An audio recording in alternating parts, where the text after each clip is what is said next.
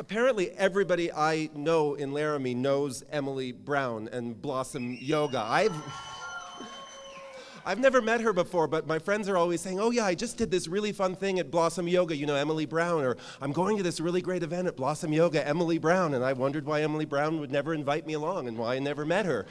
And uh, today I met Emily Brown. Life brought me into her orbit. And uh, I don't even know if I need to introduce her because apparently you all already know her, but I'm going to read her bio anyway. Um, Emily Brown opened Blossom Yoga in 2008 and is one of the primary teachers and developers of Blossom Flow Yoga Teacher Training.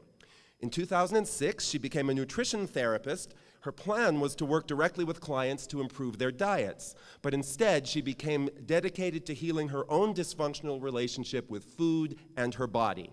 She's currently enrolled at the Institute of the Psychology of Eating, and she's passionate about combining this knowledge with yoga to extend that healing to as many people as she can reach. She's made it her life work now to completely revolutionize the way we think about health and our bodies. In fact, her title is Love Your Body.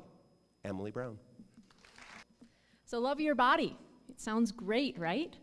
Well, when it comes to our relationship with food and our perception of our body, things get a little rocky. Our conversations and inner dialogues are usually filled with shouldn'ts, comparisons, and harsh criticisms. So, as a rule of thumb, we try to eat as little as possible, and when we do eat, we apologize for it. But the truth is, this kind of relationship with eating is unnatural and often destructive. So there is nothing natural about eating to shape the body or control weight. So when we feel any amount of turmoil, guilt, or shame around eating, we are stressing our bodies in a way that affects our digestion. So our bodies respond biologically to any stressor, whether it's real or imagine. So the process goes a little like this. Imagine you just scooped yourself a bowl of your favorite ice cream and you sit down to eat it. You take that first bite, and immediately that loud inner dialogue begins. I shouldn't eat this, this is so fattening, and on and on. Your brain actually interprets those thoughts as a stressor and causes your body to respond to that stress in the same way it would if there were an intruder knocking down your front door. So, among the many things that happen to preserve your energy, your digestion shuts down, sometimes for hours. This causes great strain on your body's ability to process and absorb any nutrients not because of what you ate, but because of what you thought. Now imagine you have that same bowl of ice cream, and rather than letting the crazy talk start, you sit down, you take a deep breath, you take a first bite, and you think, mm, mm, mm. You taste that ice cream, you eat slow, you savor and enjoy that whole damn bowl. This process has the opposite effect on your system. This triggers the parasympathetic nervous system, which causes your body to relax, and your digestion turns on full force.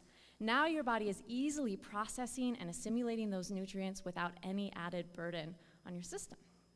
So, contrary to what we're all programmed to think, food is so much more than simply calories in and out. Food itself isn't meant to make us skinny or fat. Food isn't good or bad. There are no forces of evil at work in the grocery store to sabotage your healthy lifestyle. Food is life. It is quite literally what keeps us alive. So every time we choose to eat, we choose to live. That's it.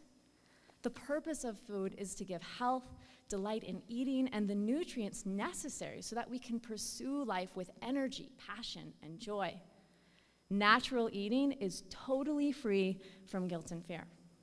So you might be thinking, and this in the exact words of my brother all of this from a skinny bitch?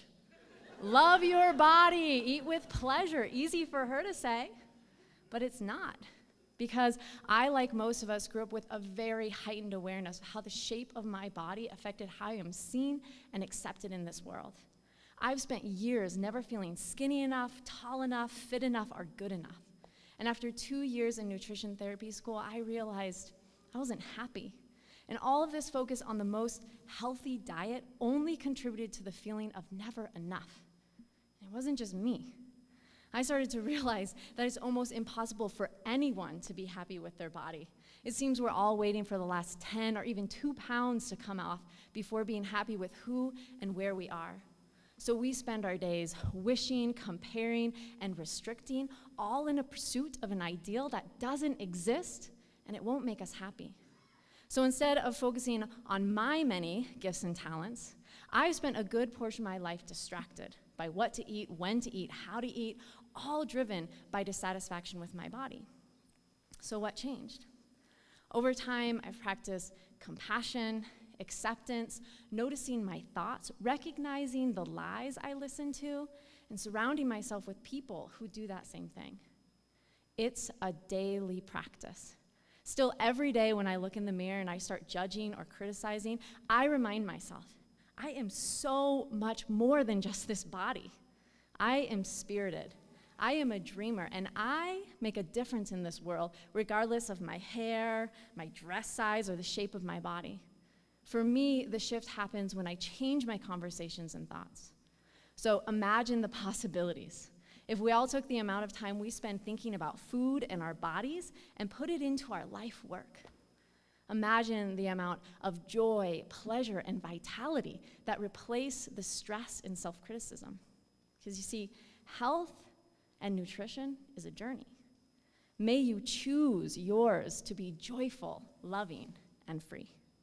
So tonight, go home, scoop yourself that bowl of ice cream, but before you eat it, stop and take three deep breaths. Then taste that ice cream. Enjoy that ice cream and laugh with your friends while doing it. It could just change everything. Thank you.